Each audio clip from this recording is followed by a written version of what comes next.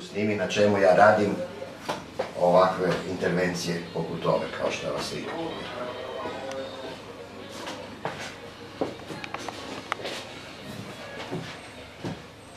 Galerija savremene likovne umetnosti juče je dobila upozorenje Uprave za imovinu grada Niša da do 1. juna mora da napusti Galeriju Srbija jer je objekat restitucijom vraćen zakonskim naslednicima.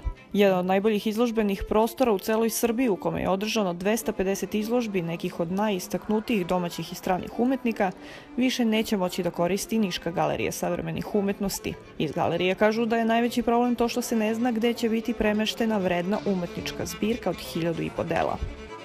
Ipak u gradskom veću uveravaju da se ubrzano radi na pre svega pronalaženju prostora za depo, ali i izložbenog prostora koji će najverovatnije biti u oficirskom domu. Odluka se očekuje u narednih nekoliko dana.